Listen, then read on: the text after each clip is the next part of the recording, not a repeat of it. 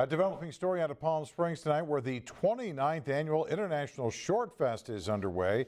News Channel 3 Samantha Lomibao is live from the Palm Springs Cultural Center where filmmakers from all over the world are screening their work. Samantha.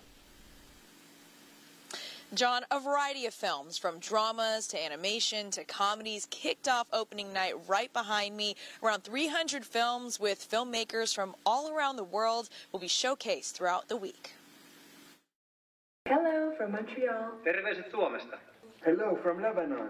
مرحبا بونجور من لبنان. Filmmakers from 65 countries coming together to see their hard work on the big screen at the 29th annual Palm Springs International Short Fest.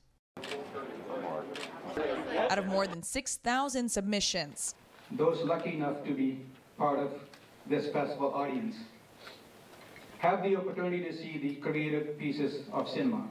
around 300 eclectic films were chosen to be screened throughout the week. The most rewarding for filmmaker is to be able to show your film to the world, uh, to participate in festivals like this. So you know, uh, to get out there so people will will see your film. Тут кіно знімають. Про кота Єгора.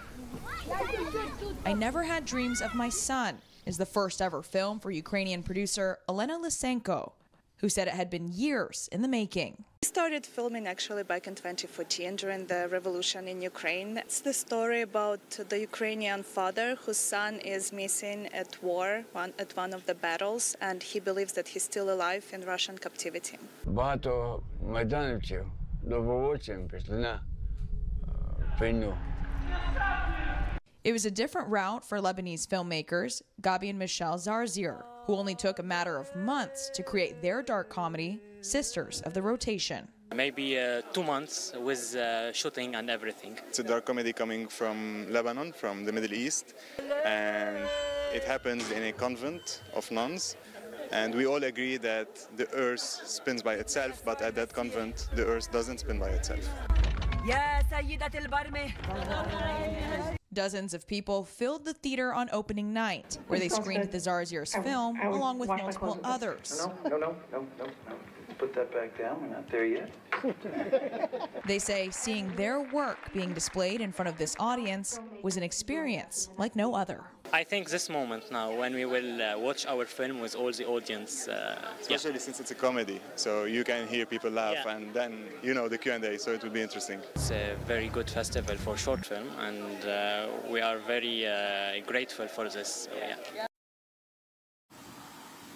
Now, this is just the first night of many short fests we'll be going through June 26th. And what makes it unique is that most of these filmmakers will be doing a Q&A after each film. And if you want to participate, you can always get passes and find that info on our website, kesq.com. Live from Palm Springs, Samantha Meebow, News Channel 3.